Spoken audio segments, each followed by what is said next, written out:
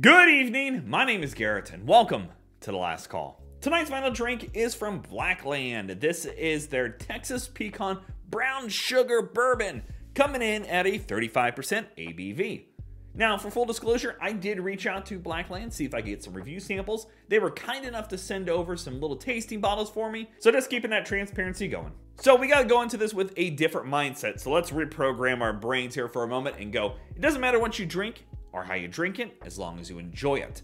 This is a flavored whiskey, which I'm totally fine with. I love flavored whiskeys, especially for cocktails or just something off the beaten path and you want something sweet. So they're actually trying to mimic Texas pecans with the brown sugar on top, I'm assuming, and where you get them at the, like the German Fest where they're roasted or like Buc-ee's. If you go to a Buc-ee's, you got to get them from there because they're the freaking best. And I don't have a Buc-ee's near me. It's like a, a forever drive away but I got to visit one a couple years ago and it was an experience and I highly recommend it. But their pecans there are freaking amazing. So if it's anything close to a toasted pecan idea, I feel like I'm in store for something great here. So as always, we're gonna try at least one way. Depending on how that goes, we might add water. I might put it on ice. I don't know which way we'll go or nothing at all. So let's get into it. As always, make sure you like the video, subscribe to the channel, all that kind of good stuff. And if you're interested in Blackland, I'm going to be putting their links up above and down below, along with some of their other reviews that I've done. So go check them out and pick yourself up a bottle if you're interested. Oh, it's even got a bit of, it's a bit thicker on the pour too. That is dark. That is, I can't even see through that. That is like a dark, dark rum color. It's almost so dark it's red. Oh, I'm excited. Well, let's go for notes. Ooh, that's actually lighter than I was expecting. It actually, you do, it smells like a good bourbon. I'm not going to lie here. There's a sweetness in there, obviously. There's that brown sugar sweetness, and it does have that nuttiness on the nose.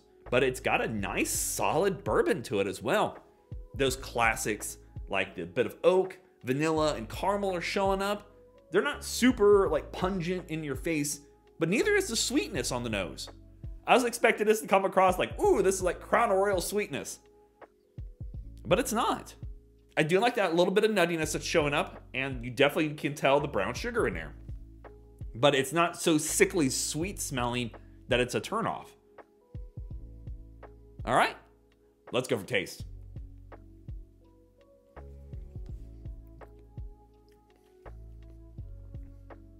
Yeah. Oh, that's really good. So it does have that kind of characteristic to it of a nuttiness. It's not super sweet. It is a little sweet, obviously, but it's definitely a lot more mild than I was preparing for. You get this fire roasted nut going on, that bit of brown sugar on there. It's actually really good. Mm.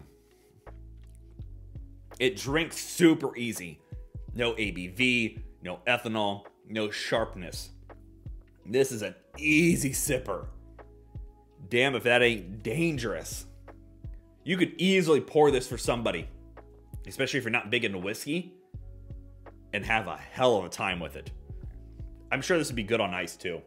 You get that almost a um, like a like a just a flat cola note. Yeah, you could easily add this to a cocktail add a little extra flavor, but actually it's got some good bourbon going on there too. It's exactly what it's aiming to be without being overbearing in those flavors. And that's why I think I really like it.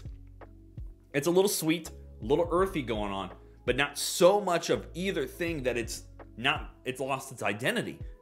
Because it definitely could have been just so sickly sweet, you didn't want to drink too much of it. But I feel like I could pour myself a big glass of this drink it back and not think much of it and then be in trouble later on because it's that just simple to drink.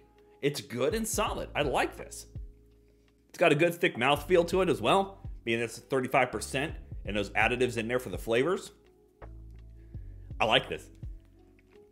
Again, I, I do appreciate that didn't go sickly sweet on it. I'm going to keep saying that because it really surprised me. I kind of braced myself going into this one thinking it was like a Crown Royal sweetness. But it's good. Actually, you know what? I'm gonna go grab an ice cube, see if I have any available. I'm gonna toss it in here. All right, I'm back. Sadly, I didn't have any manageable ice cubes, so this is going to be kind of a moot point for its review because I don't really want to use up the whole bottle because I will be doing some more videos with it. So I'm just gonna pour a little bit more in there. Don't want to pour a lot. We're gonna let it chill down just a moment or two. All right, well, let's see what the ice does.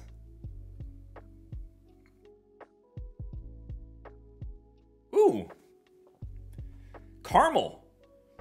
It's got like a dark homemade caramel to it now. Ooh, I like that. That's got a. It actually wakes up a little bit of the bourbon to it as well. You don't get as much of the nuttiness, but you definitely get the brown sugar still. Get a bit of that bourbon esque flavor. And this beautiful, like, homemade dark caramel. Oh, that's good too. I'm happy I did that. It doesn't get metallic, it doesn't get off notes in there. It works really well on ice. I'm very surprised by this. Most of the time, they either go very metallic or they lose their characteristics, but here, it actually holds up pretty well. Yeah. That's dangerous. All right, let's talk about market price because we all know market price is market price and it's always going to vary. So, looking around online, and the hard part here is that I'm based in Indiana, they're based in Texas, so online retailers kind of shift around their pricing. But looking locally to Texas, this runs between 30 ish, like 33 to $36. Uh, ReserveBar.com has it at like $44. Honestly, I'd pay 44 bucks for that. That is some good stuff there. And locally, if you pick this up for like mid 30s, I think it's really good.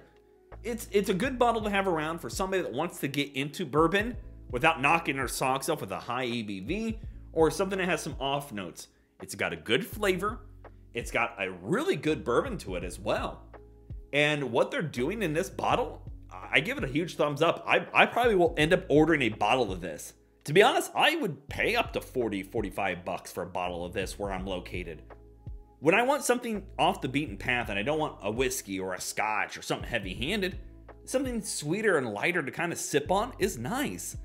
This fits the bill perfectly. I really can't dog it on any element that they're doing here. I really like it. And again, if you're interested in picking anything up from Blackland, their links will be down below in the description. Go show them some love. So yeah, there you have it, folks. Blackland, Texas Pecan Brown Sugar Bourbon. If you have any questions about the bottle itself, let me know down in the comment section below. I will do my best to answer it. And if you have any specific spirit I should go looking for, also let me know down below. I love doing these reviews and sharing with you the experience at home. And as always, may your last drink of the night be the best one.